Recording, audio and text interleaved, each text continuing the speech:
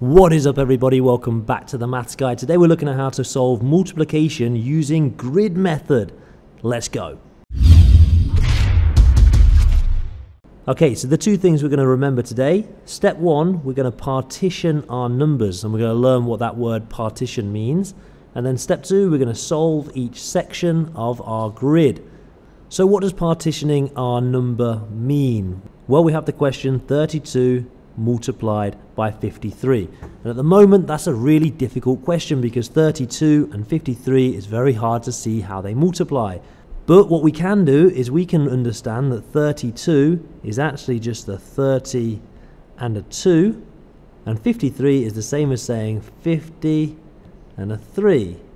So we have just partitioned our number. We've broken it down into its tens and its ones.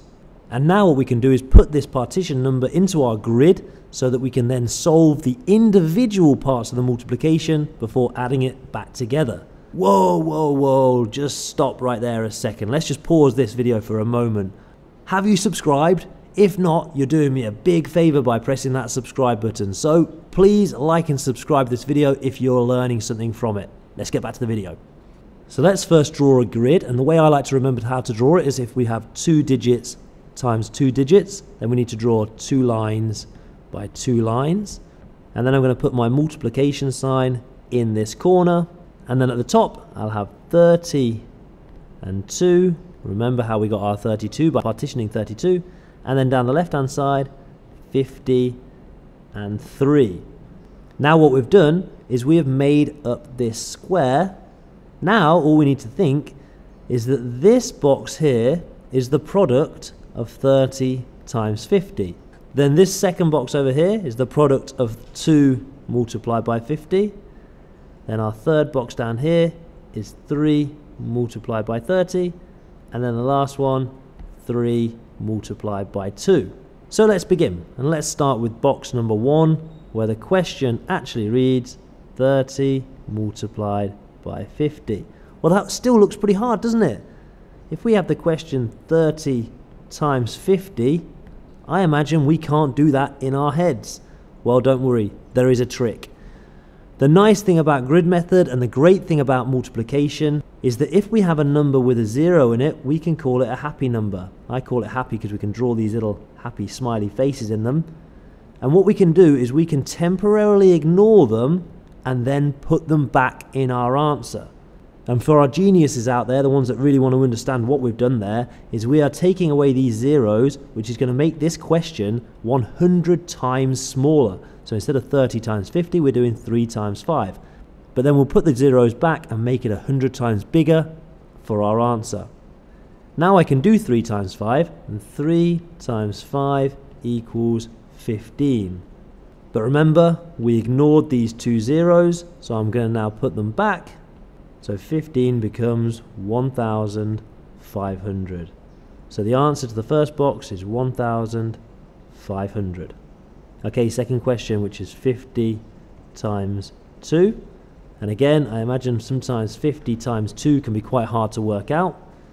So we can do the same trick. We can ignore the 0 and do 5 times 2, which equals 10, and then put back our 0, so we get 100. So my answer to 50 times 2 is 100. Box 3's question is 3 times 30. And again, 3 times 30 might be quite hard for people to work out, although actually uh, some people can see that that's 90, but let's see if we get the same answer. So we think it's 90. Let's check. Let's do 3 times 3 by getting rid of the 0. That equals 9. Put back our 0.